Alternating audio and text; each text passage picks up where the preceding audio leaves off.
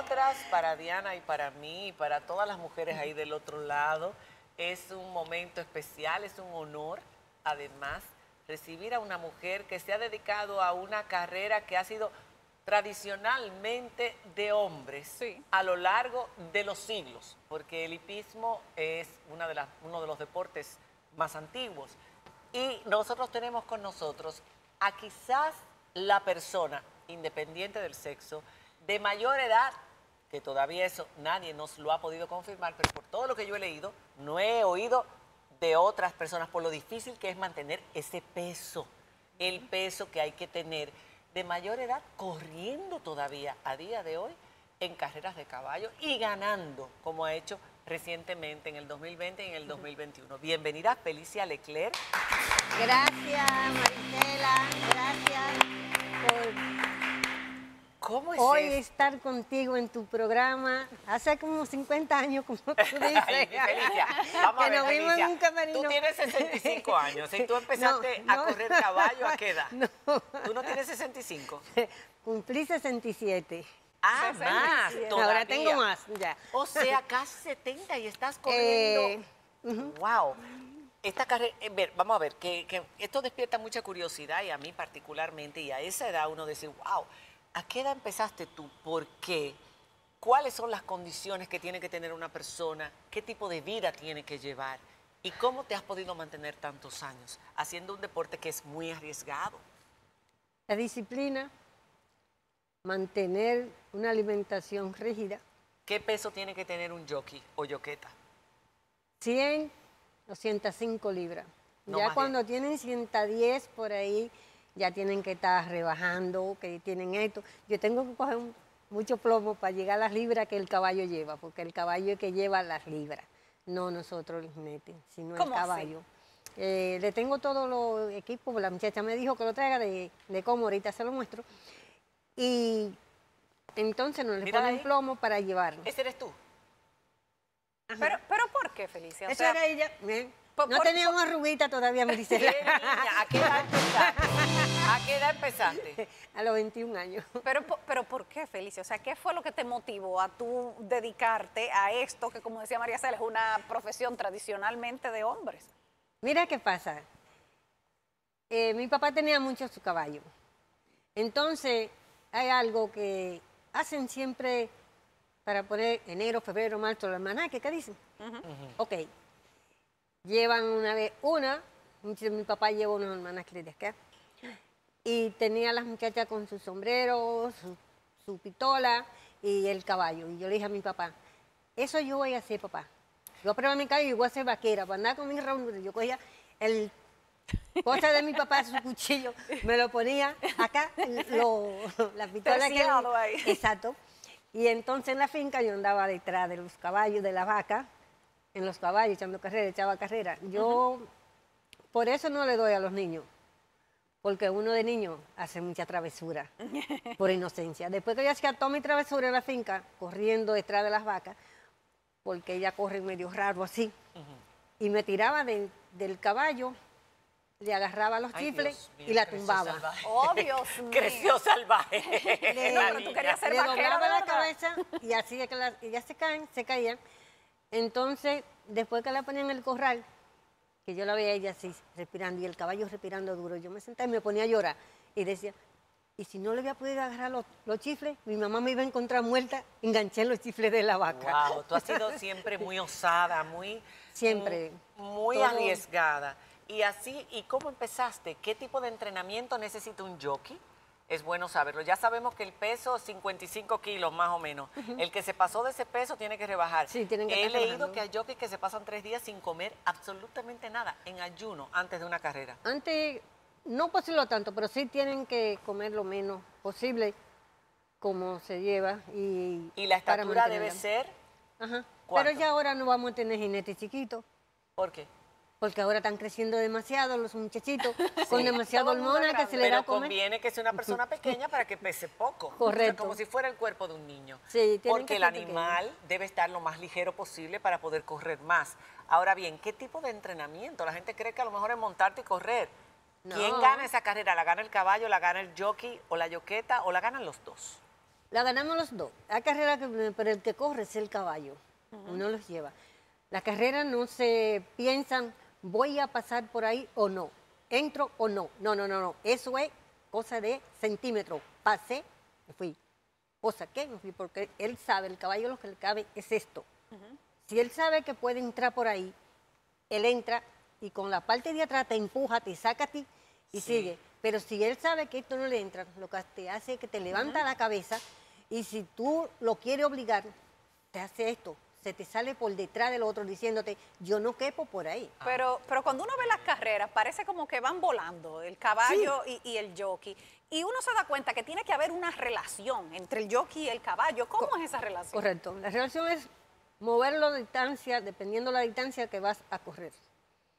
Corren mil metros. Mil metros no le da a uno mucho aire. Movido y para allá porque la meta llega rápido. 1700, 2000 metros, uno brinca, se va con su caballo bien agarrado, echándolo por tramo. Ya de los 600 metros, 700 nos vamos movilizando. Y en los últimos 400, vámonos con Dios. Y ahí ¿Cuál es la velocidad que llegan a desarrollar máxima? Tú. Más de 100 kilómetros por hora. Ay, Dios santo. Wow. ¿Te has caído alguna vez a esa Uy. velocidad? ¿A esa Claro, velocidad? claro. ¿Y qué pasa? ¿Se a- a- ¿Aprenden a caer ustedes? Porque que, que eso es para matar a cualquiera. Una vez yo me caí y yo di seis vueltas Seis. de maromo y el caballo dio cinco. Yo Ay, daba Dios. una y él daba otra. Y entonces de- me fracturé las clavículas. ¿Te pasó por encima el caballo? No, no. Hay jockey que ha muerto debajo del caballo. Sí, sí. Y cuando llego, yo fui a ver después la carrera, me dice el muchacho, ¿no la veo? Felicia? Yo, ¿cómo que no la veo? ¿Por qué? Yo la voy a ver. Subí al jurado y la vi me dicen, Felicia, ¿cómo diste toda esa vuelta? Digo yo, no, la velocidad que hace da la vuelta a uno. Si tú te caes, tú llevas algo en tu carro o en una moto y se te cae, va detrás de ti por la brisa. Entonces, la velocidad fue que me hizo dar toda la vuelta. Y ya. Yo me imagino que tú tienes que recordar esa primera carrera que tú ganaste. Oye, muchacha, y eso no se puede olvidar. Mi primera carrera que gané fue el día 2 de agosto del 1980. Wow. Era en el caballo Del de, 80. De un señor llamado Paquito Boricua. Y el caballo se llamaba el Fantorcher de Juan Bejer. Y el Fantorcher conmigo corría, con los jockeys no corría nadie. Y él me decía, Felicia, ¿qué tú le haces a Fantorche que corre? Y yo le decía, son mis secretos. ¿Qué tú le haces? Son mis secretos. Señores, se ha, se ha conocido de caballo drogado a lo largo de los años porque como la gente apuesta en esta carrera, que a propósito, ha bajado el hipismo, porque uno nota como que no es lo mismo que antes. Aquí Pemberton, yo recuerdo que dominaba ese, Sí, esas carreras, que- todo el mundo las escuchaba, pero ya como que no. Correcto. Eh, con Simón, la gente se desesperaba. A veces él decía, eh, están cuadrando, se mueve fulano, se mueve aquel. Y quizás nosotros estábamos llegando a la gatera con los caballos. Y nos estaban registrando y él decía, tan esto se mueve fulano. Y el que lo estaba escuchando por radio se desesperaba. Y a veces me preguntaban. Felicia, pero es verdad que esto y esto y esto. Yo le decía, no, estamos llegando a la gatera. Ella no se acuerda de Simón Pemberton. ah, Ah, corre. bueno, será Ah, sí, sí. Pero termíname el cuento, Felicia, entonces, de la carrera. Eh, ¿Dónde nos quedamos? Que, Pues, que, que, que tú le hiciste al caballo, te ah, preguntaron. entonces él me dice que, que yo le hice al caballo diciendo, me dijo, está bien, tú vas a debutar en él. Él me trajo todo mi equipo y cuando, que mi silla la tengo ahí, esa fue la que traje, no la las silla. otras. ¿Dónde está la silla? Tra- la Laura, silla, Laura, traigan la silla. Y, Que ella la trajo. y ella llegaba a la carrera, eran 1100 metros. Y salimos, yo iba agarradita, mi caballo, y tuve por la primera vez, hasta la brida un poco suelta, floja, con cinco cuerpos adelante, del carril 5, el caballo al carril 1. Entonces Ya. el que venía atrás, el jurado me descalificó, ¿Cómo? me quitó mi primer lugar, me mandó para atrás del otro. Yo como no sabía, el público, hasta me sentí un poco asustada, porque el público comenzó a vocearle. Y me decían, Felicia, no te apures. Pero eso No, pero tráeme todo, para tráeme todo para enseñarle todo al equipo. Eso parece de Todas un las bebé. cosas. O sea, no te querían dar Mira. tu primera carrera, tu primer triunfo, te Me lo querían quitar. Mira, esa silla es la primera que él me trajo. Ay, Y con esta yo la mantengo, con, con ¿Y esa yo qué estoy seguridad montando. hay ahí? Porque yo cuando me Eh, monto en un caballo necesito algo que agarrar. No, porque la seguridad son la vida y tu pierna, tu rodilla. Tú tienes que tener rodillas. Si tú, no tienes, tienes, tú tienes unos muslos bastante si no fuertes. tienes rodilla, Ya. tú vas a chocar aquí. Tienes que mantenerte en la posición. Esa es otra cosa, que la persona con los años va perdiendo articulaciones, Claro. tiene problemas. Mira. ¿Cómo tú has podido mantenerte? Tú no me has hablado de tu entrenamiento, que te lo decía. ¿Cómo se mantiene una persona? Pues todos los deportistas tienen que mantenerse, pero la mayoría de ellos tienen que dejar el deporte a cierta edad. Mantenerme. ¿Cómo? Haciendo muchos ejercicios. ¿Desde qué hora, qué hora? ¿Cuántas horas tú entrenas todos los días? Yo entreno- ¿Cuántos caballos? Ajá. Tres, cuatro. Tres y cuatro horas diarias. Sí, traqueo uno de los caballos. Ahora mismo estoy traqueando uno nada más y dos. Le doy clases a los muchachos. Hago los ejercicios en, en el allá que tenemos en la escuela. Cosas de todos los ejercicios. Lo hago en mi casa también. ¿No tienes no me problema siento. de salud? No, gracias a Dios. ¿Y tu Gracias a Dios. familia? ¿Has logrado hacer una familia? No, por eso estoy en los caballos. o Porque- sea, nunca te casaste, tuviste Sí, me casé, pero papá Dios no me dio el don de tener hijos y por eso estoy en los caballos. Oh, pero sigues casada, tienes un compañero no, o me estás sola? divorcié Ok. y él formó una familia así. Me dio mucho cosas porque una vez cuando nació su hijo, su primer hijo, él tenía uno, él me lo llevó, me dijo cuando nosotros nos conocimos, mi hijo tiene un año y medio. Y se apareció un domingo con su muchacho al hombro bañado en su gol rojito. Entonces, cuando yo le llevé a mi hermano, que ellos lo conocieron, me dice, el Fela, pero tú puedes decir que es hijo tuyo porque él se parece a ti.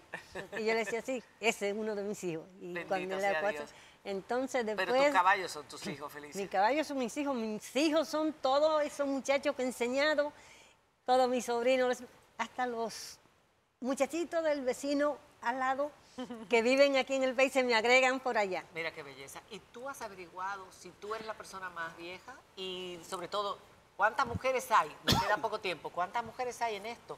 Porque yo, de verdad, no había escuchado sobre mujeres, siempre eran hombres. Hombres Sí. pequeños, de poco peso.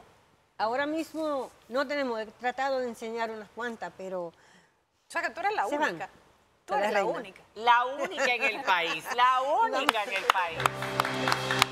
Y en el, en el mundo, ¿sabes cuántas hay y la edad? Dime de la edad. no, hay muchas. Ahora mismo hay muchas muchachas. Ahora el otro día hicieron una carrera en Puerto Rico de ocho.